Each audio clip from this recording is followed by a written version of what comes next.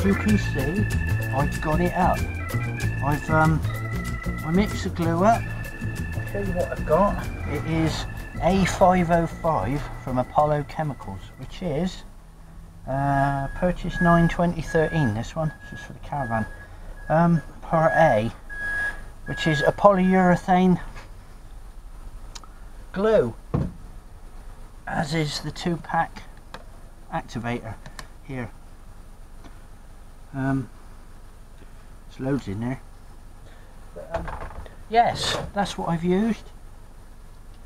Uh, cut the board to size, made sure the roof was clean, and then um, pushed it on. Uh, let show you what I've done. You can see that up there. It's all stuck on, it's oozing out a little bit there. Um, I could have done with a bit more really.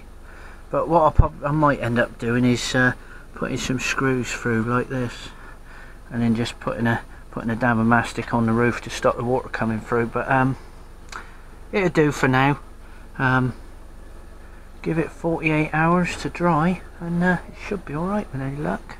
And then uh, what I'll probably do is just go go around the edge with a bit of fiberglass because I've got to do this anyway here because this is all um, it's all come adrift here and over this bit. See it there? It's all cracked. So uh, there's no strength at all in that now.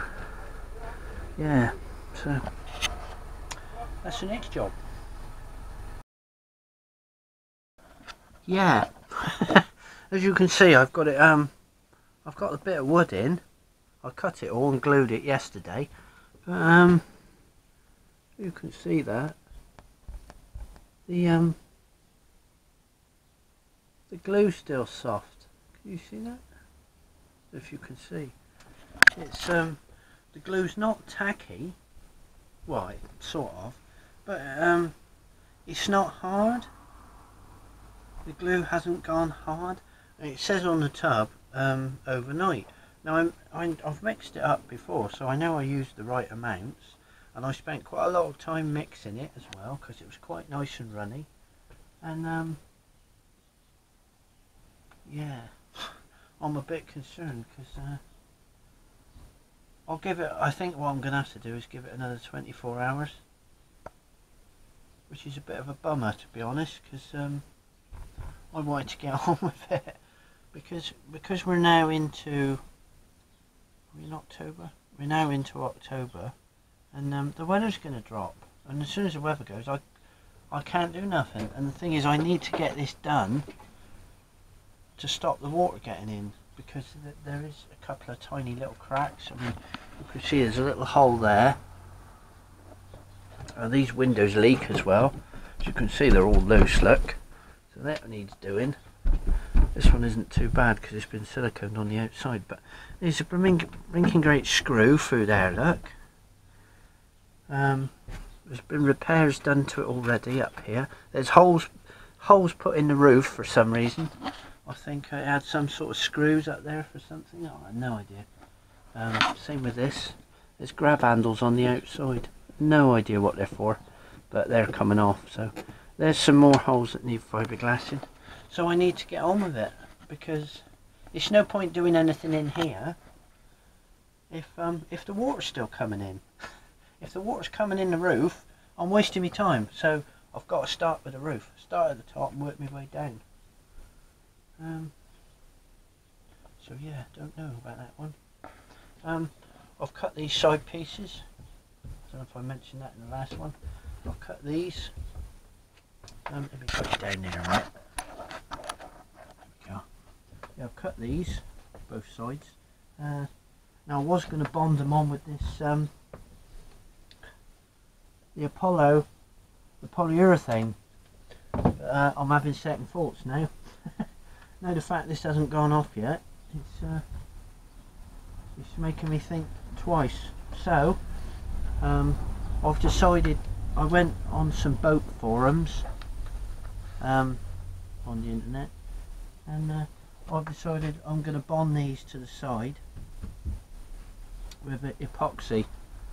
Um, epoxy resin is the same as you do your fiberglass it's epoxy resin with um, strands in it So what I'm going to do with these is um, put a bit of matting on the back. I mean I did order a tub.